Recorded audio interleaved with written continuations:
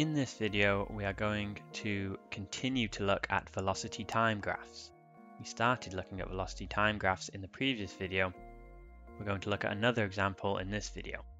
So, the example is, describe the motion that resulted in the following velocity time graph by stating the initial velocity, final velocity, displacement, acceleration, and time taken.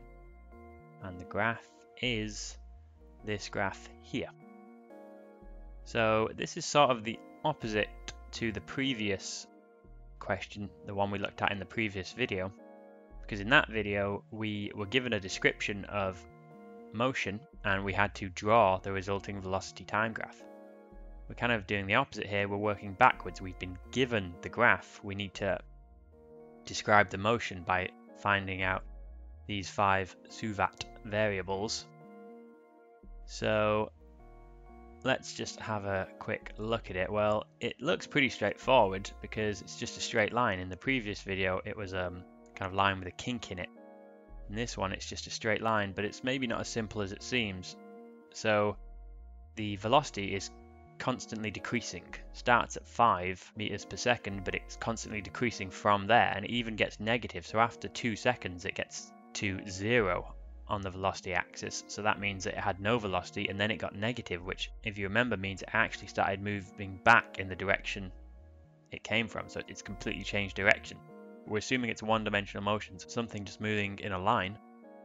But it was moving along that line in one direction, but after two seconds it changed direction, started moving back the other way.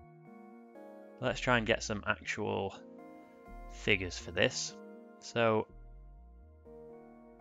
We'll just start by drawing this dotted line so we can see exactly where the graph comes to an end at 6 seconds and we're going to need this later. Uh, we'll see why. So key fact is displacement equals area above the t-axis minus area below the t-axis. So we're going to need this to find displacement which we are asked for. Now this is slightly different to the key fact in the previous video where we said that the area underneath the curve or between the curve and the t-axis, was the distance travelled. Now that is still true, and it would be true here if we found the total area, so the area of the two triangles, the one above the curve and the one below, so the one above the axis and below the axis, and we added those up, we get the total distance travelled. That's true, but that's not the same as displacement, because if the curve goes below the time axis, that means the velocity has got a negative, which means the thing is moving back in the direction it came. So it's actually getting closer to the start point, which means the displacement is actually getting smaller as it gets back towards the start point. Because if you remember, if I walk 5 meters off the spot, turn around 180 degrees and walk 5 meters back, then because I'm back to where I started, my displacement is 0, but my distance traveled will be 10 meters. So displacement, distance, they're not always the same thing. So if we want to get displacement, then we need to subtract the part below the axis from the part above the axis because the part below the axis is where it was actually moving back towards where it started. So if the area was the exact same, that would mean that it had moved back the same distance that it had moved forward and therefore when we subtracted the two we'd get zero which is what we would expect. But the area is actually bigger so we're not going to get zero. But um, we'll look at this in a few minutes. Let's start by just filling in this table with the information we, we know straight away. So we want to find the five variables, S, U, V, A, and T, that's what we're asked for. Well, U is the initial velocity, we just read it right off the graph. When time is zero, at the origin, velocity is five. Similarly, V, the final velocity is minus 10. We can just read that right off the graph and t, the time taken, is 6 seconds. So the line just goes over 6 seconds. Again, we can read that straight from the graph. So it's only s and a that are tricky. So let's think about a first. So we want the acceleration. Now this is the rate of change of the velocity. So how quickly or slowly was the velocity changing? Specifically, it's how much did the velocity change over a given second. So every second, how much is the velocity changing by? Well, let's look at the graph. We can see this red line here on the graph on the time axis. It's two seconds, so over this two seconds, the velocity went from 5 to 0, so it changed by 5 seconds.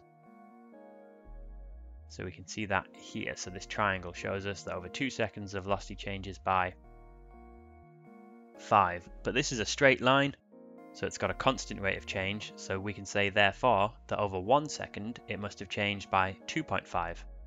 And we can actually show that if we draw a line going across here for oh, going the length of 1 second, then across the time axis, then you can see that we've gone 2.5 down the velocity axis. So this is very similar. Essentially all we're doing is calculating the rate of change or the slope of this line because acceleration is the rate of change of velocity. So if you have a velocity that's represented by a straight line, you can calculate its slope to get its acceleration. So the slope is 2.5 but the acceleration, remember, is minus 2.5 because the velocity is actually decreasing by 2.5 meters per second every second because the line is sloping down. So the velocity is getting more and more negative or decreasing. So we have to have a minus acceleration. And then we just need s. So, but using the key fact, s isn't so bad. It's the displacement, which is the area above the t-axis minus the area below the t-axis. And you just want to remember this key fact. Don't worry about too much why this is the case. Well, we talked about it a little earlier, but if you're unclear at all, don't worry too much about it. Just remember it. Displacement is area above t-axis minus area below t-axis. So that's the blue area minus the orangey beige area we have here. So let's just do that calculation. For s, we have to do 2 times 5 divided by 2. Why is it 2 times 5? Well, I'm calculating the area of the upper triangle. It's got side lengths 2 and 5, and it's a right angle triangle, so I do 2 times 5, and then I divide by 2. And then the lower triangle is also a right angle triangle. It has side lengths 4 and 10, you can see. So we go from 2 to 6 on the time axis, so that's 4, and then we go from 0 down to minus 10 so that's side length 10 on the velocity axis. So we do 4 times 10, and once again, to get the area, we have to divide by 2, because it's a right angle triangle. So this is 5 minus 20, if you do these calculations, which is minus 15. So we have minus 15 for s, so that's minus 15 meters, and it is a negative number because it's a displacement, so it's not just a distance traveled, it's actually displacement. So essentially what's happened is the thing has moved away from the point it started at, but then changed direction, and started moving back to this point, and then it's actually continued in this direction for longer, so it's gone beyond this point and started moving past the point in the opposite direction, which is the negative direction. So it's actually ended up moving 15 meters away from the point, but in the negative direction, even though originally it was moving in the positive direction. So hopefully that makes sense and that is how you can use a velocity time graph to find out information about the motion.